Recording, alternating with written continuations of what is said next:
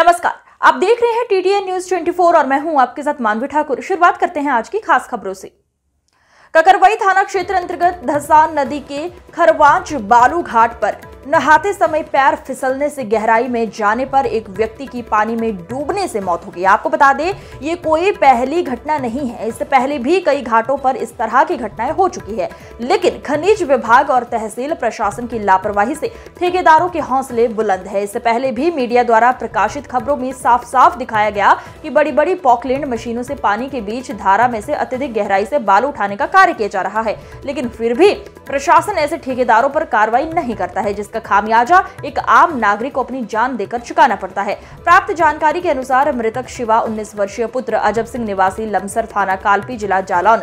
मंगलवार दोपहर खरवांच घाट पर नहा रहा था। नहाते समय पैर फिसल जाने की वजह से वो अधिक गहराई में चला गया, जिससे वह गहरे पानी में डूब गया। लोगों को जानकारी हुई तो शोर शराबा मचा।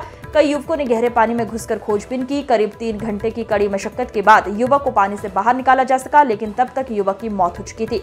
मृतक अपने पिता के साथ मिलकर बालू घाट पर चाय समोसा की छोटी सी दुकान रखे हुआ था। घटना की जानकारी मिलने पर मृतक के परिजन भी रोते बिलखते घटनास्थल पर पहुँचे। सूचना पाकर मौके पर पहुँची ककरबई पुलिस ने शव को अपने कब्जे में लेकर स्वास्थ्य केंद्र गुरसराय भिजवाया, जहाँ डॉक्टरों ने उसे मृत घोषित कर दिया। T T twenty four news channel में। आज यहाँ पर जिला झांसी में तहसील गरौठा अंतर्गत ग्राम खरवाच में इतनी भयंकर घटना हुई है, जहाँ पर एक लड़की, एक व्यक्ति की नहाते हुए डूबकर मृत्यु हो गई है। यहाँ पर एनजीटी के नियमों के विपरीत। यहाँ पर इस तरीके से खनन होता जा रहा है, अवैध बराबर हो रहा है। देखा जा सकता है कितनी गहराई है, कितनी नहीं है। यहाँ पर तीस से चालीस फीट की गहराई से माल उठाया जा रहा है, जहाँ पर ऐसी ऐसी घटनाएँ सब भविष्य में भी होने की संभावना है। ग्रामीणों ने बताया कि काफ़ी मशक्क़त के बाद उस बॉडी को पानी के अंदर से निकाला गया, जहाँ पर उसे देखा गया। तो स्थानीय लोगों का कहना यही है कि मृत है, लेकिन फिर भी प्रशासन ने उसको उनके घर वालों के यहाँ क्या नाम है भैया? भूपेंद्र कहाँ के निवासी आज यहाँ खरवाज घाट पे क्या घटना हुई?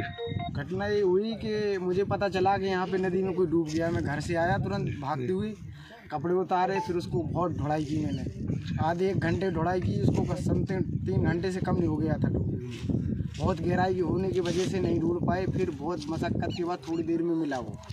मृत मिला होगा? हाँ मृत मिला था।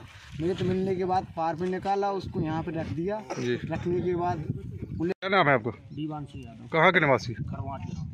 आज यहाँ खरवाज घाट पे क्या घटना हुई? खरवाज घाट पर घटना हुई है सर कि यहाँ पे कोई बाहर का लमसर का था लड़का जिला जालौन का। जी। कालपी थाना लगता है उसका। तो यहाँ पे चाय पकौड़ी की दुकान कर रखी थी उसने। तो नहाने के लिए आया बता रहे हैं तो खसा लेके गहराई के कारण वो वहाँ डूब गया। तो नदी के बीचों बीच ज़्यादा गहराई है क्या? हाँ मशीनों से कम से कम पच्चीस पच्चीस तीस तीस फुट के गड्ढे कर दिए गए।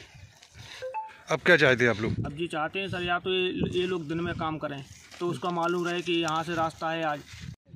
क्या नाम है आपको? महेश चंद्र ग्राम प्रधान खरवास क्या घटना हुई यहाँ पे आज? यहाँ पे घटना हुई एक लड़का बाहर का यहाँ पे दुकान करता था। कहाँ पे? खरवाज घाट पे? हाँ खरवाज घाट पे। जी। वो नहाने आया अचानक कभी इधर खदो देते हैं गड्ढा नाइट में कभी इधर खदो देते हैं। हम्म। तो लोग बागों को मालूम नहीं चलता कि कहाँ पे कितनी गहराई है। इतना पानी गंदा है कि बरसात का तो कम गंदा होता है तो ज़्यादा गहरे गड्ढे खोदे हुए? ज़्यादा गहरे गड्ढे होंगे कम से कम पच्चीस तीस फुट गहरी। अच्छा। तीस फुट से कम नहीं है। चार घंटा धुलाई की उसकी बच्चा की चार घंटे में निकला।